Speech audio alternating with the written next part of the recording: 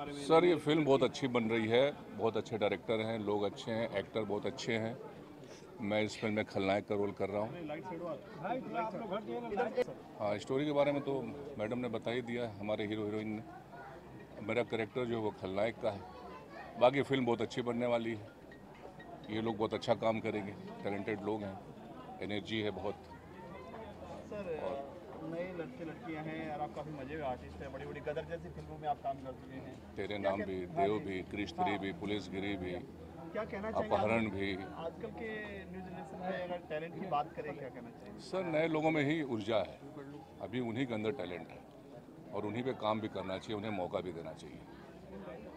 मेरा तो ये मानना है और ये अच्छा करेंगे और बहुत अच्छा करेंगे। इन्हीं में भविष्य है हमारी फ़िल्मों का। थैंक यू थैंक यू छोटा वाला जमने चल ठीक है सर सबसे पहले आपका नाम? आपका नाम? सूरज भारती नाम है मेरा। मैं फ़िल्म को डायरेक्ट एंड प्रोड्यूस कर रहा हूँ।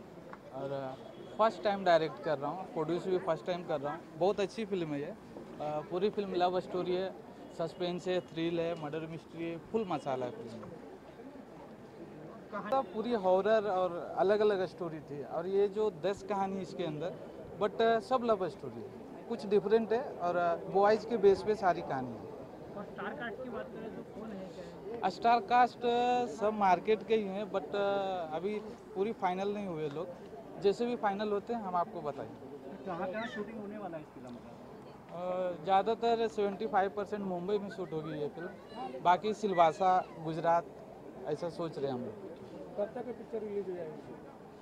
रिलीजिंग का तो अभी कुछ नहीं बोल सकते अभी पहला ही शेड्यूल आज फ़र्स्ट टाइम मुहूर्त हुआ देन शूट भी ऑन है कम से कम छः महीना आठ महीना तो नेचुरल जाता ही है फ़िल्म रिलीज़ होने के लिए। थैंक यू सर आ जाओ आ जाओ तुम लोग भी आ जाओ।